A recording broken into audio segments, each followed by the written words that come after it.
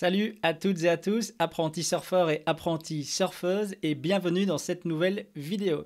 Alors, lorsque j'ai découvert le surf skate et que j'ai recommencé à regarder quelques vidéos, j'ai découvert Sean Lay qui partageait des vidéos de ses Infinity Loop, donc c'est boucle infinie et ça m'a vraiment impressionné car pour moi ça représente vraiment toute la beauté du surf skate, arriver à générer de la vitesse sur seulement quelques mètres carrés, donc en faisant ces boucles infinies, une boucle frontside et puis une boucle backside et arriver à les enchaîner.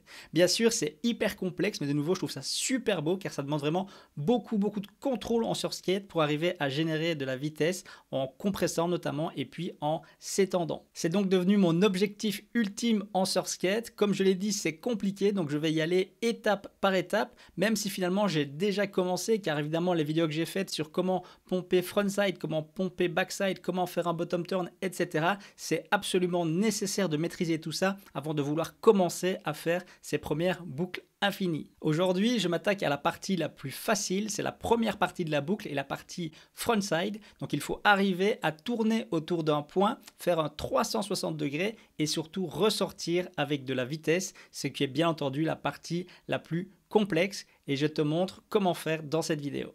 On entame le 360 comme un bottom turn avec cette main arrière qui va venir vers l'avant. On va pointer du doigt l'objet autour duquel on souhaite tourner on va le regarder, ce qui va impliquer d'incliner tout le corps dans le virage et de bien plier les jambes. Ensuite, lorsqu'on a atteint la moitié de la boucle et donc les 180 degrés, on reste bien groupé et on commence à regarder la sortie et donc la fin de cette boucle. Et c'est lorsqu'on atteint les trois quarts du tour que là, on va décompresser, donc s'étendre d'un coup le plus rapidement possible, lancer les bras vers l'avant pour régénérer de la vitesse en cette fin de boucle.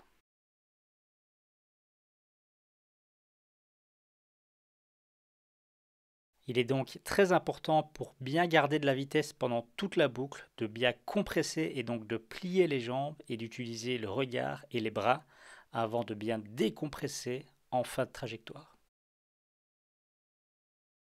On se rend d'ailleurs bien compte lors de ce genre d'exercice de l'importance de l'extension, car le moment auquel on va la réaliser et la vitesse à laquelle on va l'effectuer va avoir un gros impact sur la vitesse que cela va générer, c'est d'ailleurs l'élément que je souhaite encore le plus travailler, vraiment la partie dont je suis le moins satisfait aujourd'hui lors de ce 360, c'est cette extension, mais je pense que c'est seulement avec la pratique, en en faisant encore, encore et encore, qu'on finit vraiment par trouver le timing parfait pour la lancer.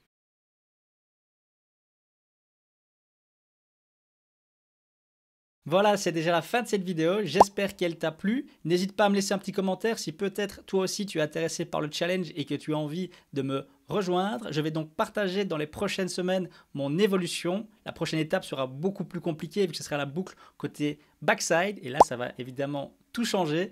N'hésite pas à me laisser un petit like et à t'abonner car je te rappelle que je publie une nouvelle vidéo sur Skate tous les mardis.